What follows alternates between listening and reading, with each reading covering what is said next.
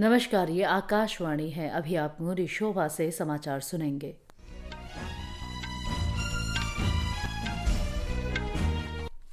पहले मुख्य समाचार। प्रधानमंत्री नरेंद्र मोदी ने कहा, भारत में भ्रष्टाचार, जातिवाद और सांप्रदायिकता के लिए कोई स्थान नहीं होगा। इसरो ने अपने सौर मिशन आदित्य एल वन की पहली कक्षा पार करने की प्रक्रिया सफलतापूर्वक संपन्न की।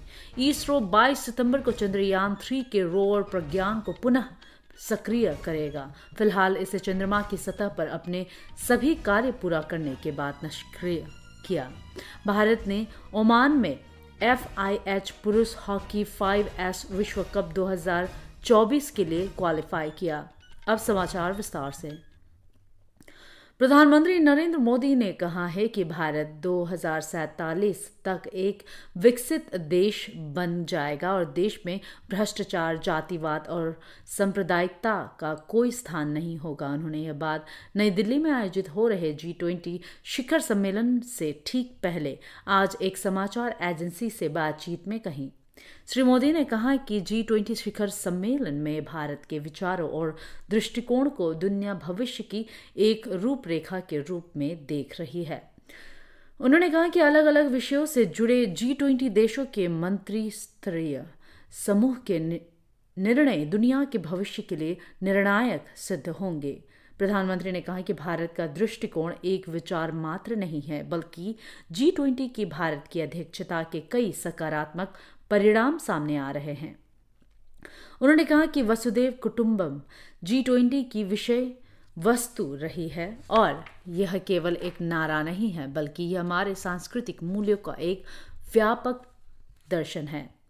प्रधानमंत्री ने कहा कि जी ट्वेंटी में अफ्रीका भारत के लिए सर्वोच्च प्राथमिकता है। उन्होंने कहा कि सभी पक्षों को सुने बिना कोई भी योजना सफल नहीं हो सकती। श्री मोदी ने कहा कि भारत में एक दशक से भी कम समय में दुनिया की पाँच सबसे बड़ी अर्थव्यवस्था वाले देशों में अपनी जगह बनाई है और जल्द ही भारत दुनिया की तीन सबसे बड़ी अर्थव्यवस्था वाले देशों में शामिल हो जाएगा।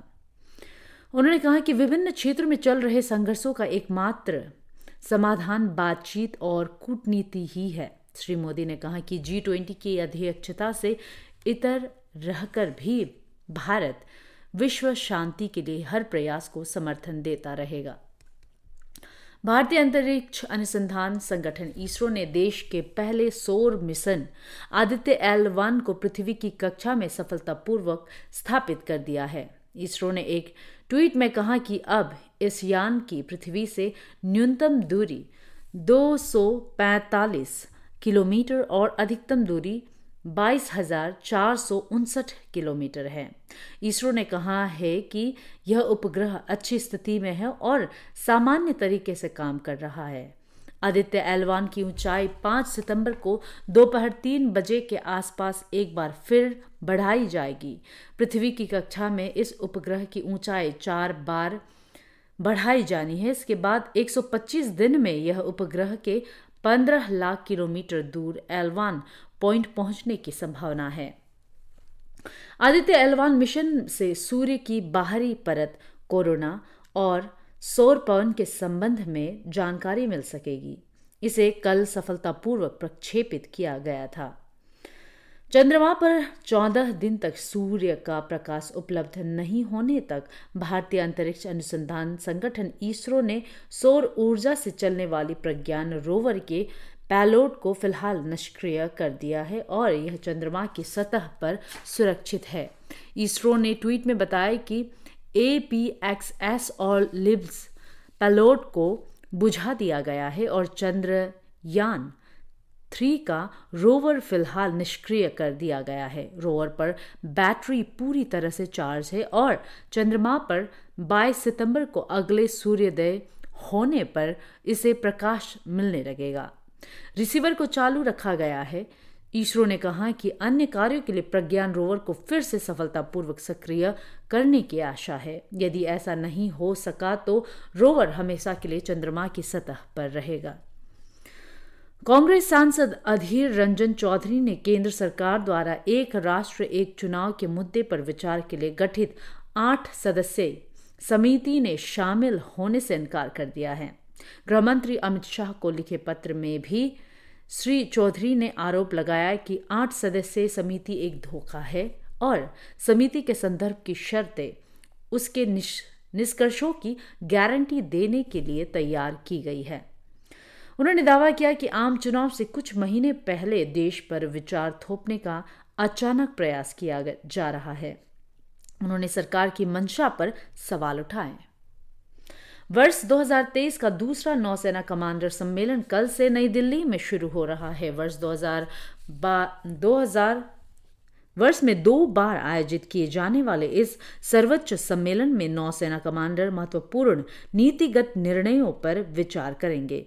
तीन दिन के इस सम्मेलन के दौरान नौसेना के वरिष्ठ अधिकारी पिछले छह महीने के दौरान की गई संचालन, समाज समान उपकरण प्रक्षेपण, प्रशिक्षण और प्रशासनिक गतिविधियों की समीक्षा करेंगे। कमांडर्स नौसेना के विभिन्न परियोजनाओं की समीक्षा भी करेंगे। प्रमुख रक्षा अध्यक्ष जनरल मनोज पांडे ने जम्मू कश्मीर के राजौरी सेक्टर के नियंत्रण रेखा से लगे अग्रिम क्षेत्र में सुरक्षा और संचालन तैयारियों की समीक्षा की। आकाशवाणी के जम्मू संवाददाता ने बताया है कि general officer commanding in chief और उत्तरी कमान के लेफ्टिनेंट जनरल उपेंद्र द्विवेदी सहित सेना के वरिष्ठ अधिकारियों ने प्रमुख रक्षा अध्यक्ष जनरल मनोज पांडे को पाकिस्तान के साथ नियंत्रण रेखा की मौजूदा स्थिति, संचालन तैयारियों और आतंकवादियों द्वारा घुसपैठ के प्रयासों की जानकारी दी। प्रमुख रक्षा अध्यक्ष को बताया गया कि सजग सैनिकों ने घुसपैठ की ज़्यादातर प्रयासों को नाकाम किया है। प्रमुख रक्षा अध्यक्ष जनरल ने नियंत्रण रेखा पर प्रभावी संचालन तैयारियों की सराहना की। भारत के मुख्य न्यायाधीश धनंजय यशवंत चंद्रचूड़ ने कहा है कि कानून के शासन से ही देश में व्यवस्था बनी हुई है। वे कल मिजोरम की राजधानी आइजॉल में गुवाहाटी उच्च न्यायालय की आइजॉल पीठ के नए भवन के उद्घाटन अवसर पर बोल रहे थे।